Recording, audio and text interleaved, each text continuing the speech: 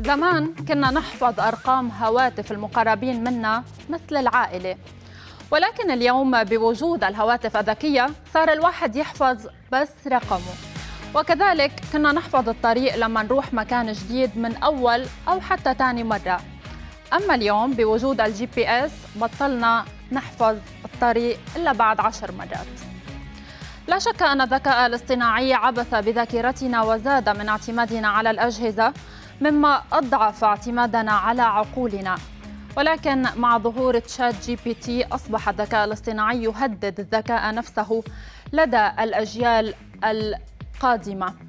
هذا هو ما حذر منه دكتور جامعي أمريكي يدعى أليكس ميتشل في مقالة طرح فيها كيف قام عدد كبير من طلبته بالاعتماد على software الذكاء الاصطناعي والذي أثار الضجة مؤخرا ChatGPT ليقوم بكتابة الأوراق البحثية عنهم. الأستاذ الجامعي المتخصص في الفلسفة اكتشف أن الطلاب يقومون باستخدام ChatGPT الذي يستطيع أن يستقبل كمية هائلة من المعلومات ويعيد كتابتها في ورقة بحثية أو مقالة. ويدق ميتشل في مقالته ناقوس الخطر من تأثير هذه التكنولوجيا المتاحة بسهولة للجميع على التعليم. وأن الكارثة الأكبر هي صعوبة إثبات الغش بالذكاء الاصطناعي. سنرى وإياكم مشاهدينا كيف تفاعل المغردون مع هذه المقالة و ChatGPT الذي أثار ضجة واسعة في الأيام القليلة الماضية. سنبدأ من تغريدة المخرج مصعب العمري الذي غرد على حسابه على تويتر وقال جربت ChatGPT وأشوف أن الناس تبالغ من ناحية قدراته على حل الواجبات الجامعية والأبحاث. كتابته وصفية بشكل جميل ولكن من حيث الكتابة النقدية والتحليلية فهو بدائي. ومن يعتمد عليه من الطلاب لن يحصل إلا على تقييم سي في أفضل الأحوال. أما خالد فكان له رأي مخالف وكتب حين اخترعت الأدوات السابقة كالآلة الحاسبة والكمبيوتر قالوا نفس الشيء وبعدها حققوا للإنسان ثورة علمية. الذكاء الاصطناعي مجرد مستوى للصعود لأعلى والعقل البشري جبار لن يحل محله شيء. أيضا المدون التقني هادي معاشي كتب وقال أن تطور الذكاء الاصطناعي لابد من تطوير أساليب التعليم وأدوات البحث فليس من المنطق البقاء على الطريقة التقليدية في ظل التطور الثوري في التقنية. لابد من استخدام هذه الأدوات بشكل أكثر فعالية ومنها سوف تتطور مخرجات التعليم. أخيرا أحمد يرى مشكلة من نوع آخر في هذه التغريدة ويكتب الذكاء الاصطناعي لن يحولنا إلى أغبياء لكنه سيحولنا إلى كسالى قبل اختراع الإنترنت مثلا كان يتوجب عليك قراءة كتب بأكملها للعثور على معلومة واحدة مما يجبرك على القراءة على عكس اليوم. المشكلة في التأثير على مستوى المعرفة. لنعرف أكثر عن ChatGPT معنا من دبي الخبير في الذكاء الاصطناعي فيصل الجندي. أهلا وسهلا بك معنا في منصات. بداية ما يعني ما رأيك بجدية هذا التحذير؟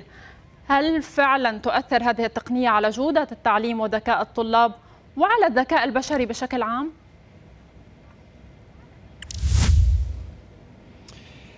مساء الخير لك وللجمهور الكريم. التقنية تؤثر على آه، أشياء كثيرة داخل آه، طريقة التعليم اليوم. ممكن تأثر بداية بشكل سلبي على النقطة اللي ذكرها الباحث وهي أنه بناء المشاريع عن طريق الذكاء الاصطناعي وبرنامج ال ChatGPT. ولكن مع الوقت سيصبح الموضوع تحت السيطرة أكثر. ففعلا في مخاطر ولكن ليست كبيرة كما يعني كما هو مذكور. أنا أعتقد أن الموضوع إيجابي على المدى الطويل أكثر من أنه سلبي. طيب هل يمكن اعتبار هيدي التكنولوجيا يلي أصدرتها شركة OpenAI وأصبحت يعني متاحة بسهولة للجمهور بمثابة ضربة أخرى للتعليم العالي بالعديد من الدول يعني يلي مثل ما وصفه الأستاذ الجامعي الأمريكي خاصة بأنه يعاني التعليم أصلا من الغش المتفشي؟ صحيح آه، وهي آه، فكرة سليمة بس هي بت لازم تحفز شركات أو مؤسسات التعليم مثل الجامعات أنه تفكر بطرق حديثة لتحسين موضوع التعليم أنا أعتقد أن ال ChatGPT حيساعد بتطوير التعليم أكثر من أنه ب يعني بالقضاء على الذكاء الإنساني. يعني مثلا اليوم نكون صريحين الطالب إذا ما قدر قبل ما كان يجيب المعلومة من ال ChatGPT كان يروح على الإنترنت ويدفع مبلغ لشخص الشخص هذا يبني له البحث ويدفع مقابله مبلغ معين. اليوم وهي موجودة كتير بالمدارس والجامعات بكل أنحاء العالم. اليوم ChatGPT هو منافس للأشخاص اللي عم تعمل بحوث بفلوس وهلأ صارت مجانا. الجامعات والمدارس وليست فقط الجامعات على فكرة المدارس طلاب المدارس بيستعملوا ال ChatGPT لحل بعض الأسئلة وكتابة بعض المشاريع بكل اللغات يعني. نعم. الفكرة هي أنه الجامعة أو المدرسة لازم تبدأ تطور بطريقة التعليم بحيث بما توافق مع العصر الحالي. يعني كيف كان التعليم قبل الآلة الحاسبة؟ مثل ما ذكر الأخ بالتويتر آه، كيف كان التعليم قبل الإنترنت؟ وكيف صار بعد الآلة الحاسبة وبعد وبعد الإنترنت؟ لازم نفكر حاليا كهيئات تعليمية نعم كيف في هذا السياق. ذكرت حضرتك أنك ترى هذا الأمر بشكل إيجابي. وهناك بالتغريدات من يوافقك الرأي وأشار إلى أن المشكلة ليست بتطور الذكاء الاصطناعي بل المشكلة في مواكبته وانه بعض المؤسسات يعني متأخرة بذلك. هل تتفق مع هذا الرأي أم برأيك يجب إبطاء وتيرة هذا التطور لتفادي المخاطر مستقبلا؟